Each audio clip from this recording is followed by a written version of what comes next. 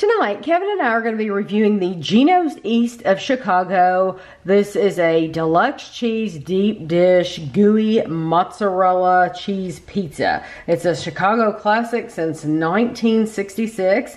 It is uh, 32 ounces, 2 pounds, 907 uh, grams. It's a heavy pizza. It's a heavy pizza. It was $5.89 at Aldi. So what you do uh, for the traditional bake, which is what we're doing, we're going to remove the frozen um, deep dish pizza, all the packaging. Uh, fully preheat the oven to 375, which our oven is 375. Position upper baking rack to center, avoid spillage, place a foil on rack below pizza. I'm to do that. Bake for 40 to 45 minutes uh, to golden brown crust preference. Ovens vary. Uh, get ready without tipping. Pull from oven, let sit for five minutes. So I was thinking when I first read that, that it meant to lay the pizza directly on this. That's not what it says. It says foil on rack below the pizza. So like the pizza is going to be on this rack. I place this on the rack below it. So that's what I'll do. So, and then this is going to bake, uh, bake for 25 to 35 minutes. No. No, bake for 40 to 45 minutes. Okay, hold on. That's thawed. Ah, okay. So you can thaw it out first. Okay, I didn't realize that. Bake for 40 to 45 minutes to golden brown crust preference. Okay, 40 45 minutes. Okay. So it does have a way to open it easy. I didn't realize you could uh, thaw it. Ooh, look at that. That looks like a raspberry tart or something, doesn't it? Okay. So this is what it's going to look like before it goes in. I'm, I'm going to lay it directly on the rack and I'm going to put this uh, uh, on the rack underneath and we'll be back.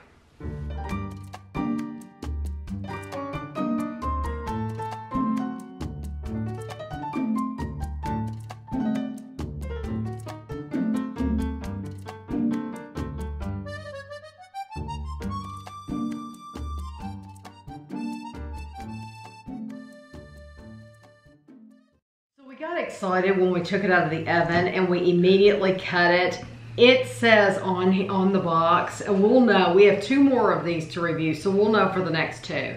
It says to a hot tip, let it sit five minutes before cutting with a knife. So we'll just know that next time and we'll see what kind of a difference it makes because because it kind of ran. it ran a little bit, but not Mine- too bad. mine- Kevin's really mine ran. really ran. Um, but and that's the tip. These are made, they're distributed, and I'm gonna pronounce this completely wrong. Waupaca, Waupaca, Wisconsin. Um, but so we baked it uh, the traditional bake, which we baked it for 45 minutes. You can bake it, it says there's a quick bake and it has instructions, and it's basically half the time. So we It involves baked. the microwave. Right. We baked it at 375 for the traditional bake for 45 minutes. The quick bake, you can bake it, you can um, microwave it uh, for six minutes and then let the pizza stand for one minute. And then you can bake it for eight, 15 to 18 minutes at 425. So it is um, a higher temperature, but you have already microwaved it for six minutes first. So you can do that. Really just to crisp it up, probably. Right.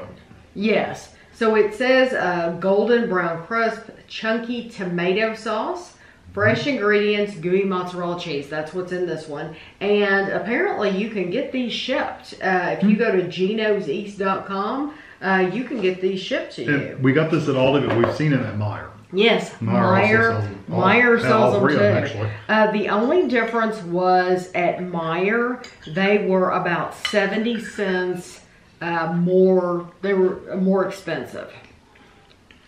I've noticed the deep dish. Most pizzas we eat, the sauce is in the bottom, Mm-hmm. and this and the cheese and stuff's on top. This is the switch. Yeah, the sauce is on the top. Mm-hmm.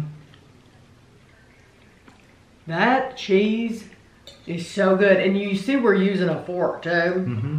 because It's it probably sacrilege. it probably is. Some pizza people are going. They- ah! Yeah, if you're in Chicago or somewhere that's famous for these deep dish pizzas, do you use your your hands just like you do regular pizza. That's good. I like the sauce. It's a sweeter sauce. Mm-hmm. Um, it's almost like a marinara sauce. I agree with you. Um, yeah, it tastes like a, a dipping, uh, Like a dipping a sauce. dipping yeah. sauce. Um, the, Okay. if there's six servings in the pizza, one sixth is 152 grams and it's 350 calories. And the crust is thick, That's but what it's I, not overly thick. I'm getting it to the point where I but can pick it um, up. it's almost like a cornmeal-y kind of.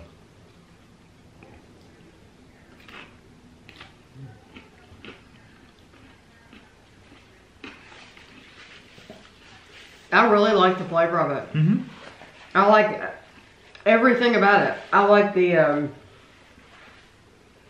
I like the texture of the crust. I do it's too. not like you said. It's not doughy. It doesn't.